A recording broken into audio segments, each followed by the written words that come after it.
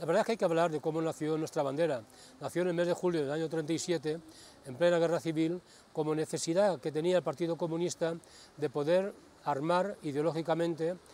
elevar el nivel teórico de la militancia comunista en la defensa de la República, en la defensa de la democracia, en una situación muy difícil como era la guerra civil. Por ello, ese símbolo del Real Meteórico, ese símbolo que yo diría que es un símbolo leninista, de situar continuamente el análisis concreto de la realidad para poder avanzar en la lucha, es lo que nuestra bandera continúa. Estuvo nuestra bandera que nació en Valencia, porque entonces el gobierno estaba en Valencia, luego pasó a Barcelona, cuando acabó la guerra con Mije pasó a México, en México estuvo hasta final de la Segunda Guerra Mundial, cuando acabó la Segunda Guerra Mundial pasó nuestra bandera a Francia,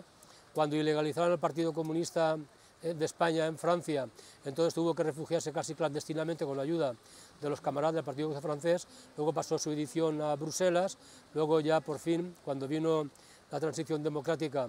eh, ya cobró más importancia nuestra bandera como reflejo de la necesidad de un rearme ideológico también de la izquierda española en plena pujanza por la conquista democrática, desempeñó un papel importante en nuestra bandera, reflejando la mm, diversidad de apoyos que tenía la lucha por la democracia en España. Y se puede decir que estuvo, ha tenido como directores a Santiago Carrillo,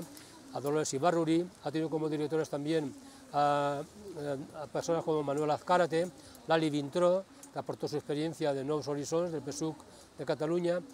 luego estuvo Pepe Sandoval, José Sandoval, y por fin yo cogí,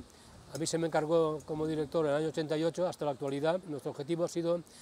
poder ofrecer nuestra bandera como ámbito teórico. Justamente ahora que la derecha sigue con la ofensiva ideológica de desmantelar y volver al franquismo, es cuando más necesaria es la presencia de nuestra bandera como instrumento de la militancia comunista.